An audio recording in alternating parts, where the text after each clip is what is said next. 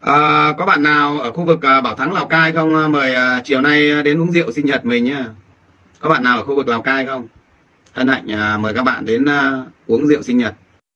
À, cảm ơn tất cả những lời chúc mừng tốt đẹp và nói cái câu chuyện à, à, chúc mừng sinh nhật thì hôm nay có bạn bảo chúc mừng sinh nhật chú nhé. À, chú cho chú cho cháu số tài khoản để, để cháu à, tặng chú chú cháu không muốn biết mua gì cháu tặng chú 500k để chú mua quà sinh nhật. Thì tôi mới trả lời là cảm ơn lời chúc của bạn nhưng tôi không nhận quà đâu thế là một lúc nữa thì uh, một lúc nữa nó gửi cho tôi một cái hình video và nó nói là chỉ tấm lòng thôi mà có gì đâu mà chú phải ngại. Xong nó gửi cho tôi một cái hình hình video là à, cái cái mà các bạn thấy có một cái đội càng trống của châu phi hay gì mà đang khiến cái hòm đó. À, nó bảo nó chúc mừng tôi thế. Thì nó tưởng tôi ham tiền nhưng mà tôi đâu có nhận đâu. Nhưng mà thế mà cuối cùng nó vẫn gửi cho tôi cái hòm. Thì đó thì uh, tôi đã chặn zalo của nó nhưng mà à, phượng nguyễn dạ em vừa tặng anh một chút quà nhỏ xíu trong super chat. Ồ vậy hả? Tôi tôi không để ý. Ôi super chat ừ, sao mình không thấy nổi lên ta?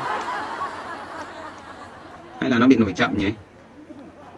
À hình như hôm trước em cũng tặng một lần nhưng mà nó lại mãi sau nó mới nổi hay sao ấy? Cảm ơn em à, Phượng Nguyễn rất là nhiều ạ. Bạn vừa tặng cho mình một món quà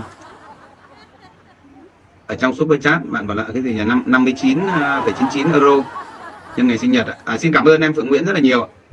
Cảm ơn em rất là nhiều. Đây bây giờ nó ờ, À bạn Uy Trần Bạn Uy Trần thế thì cái cái của bạn Phượng Nguyễn thì nó chưa nổi nhưng mà không sao đâu nó sẽ nổi thôi.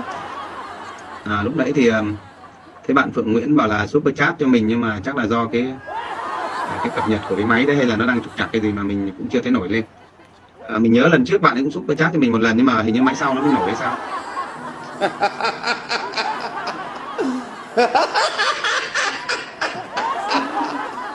Thôi im đi.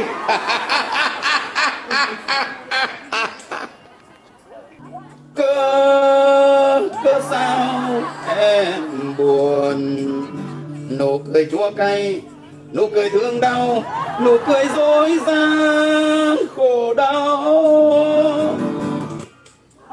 Không vui, sao người cười tươi? Đang vui, sao người gục đầu?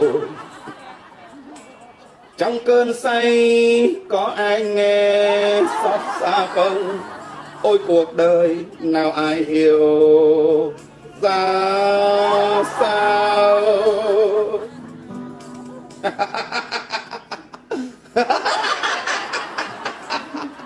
Thôi im đi.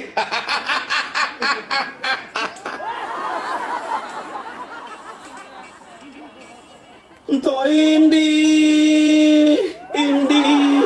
Xin đừng cười vui thôi im đi im đi, vui gì mà cười. Trong hôm nay chắc em say, men rượu nồng, cớ sao em mời tôi lại? Các bạn thấy hay không ạ? Thấy hay cho tôi chàng pháo tay đi mọi người ơi. Yeah!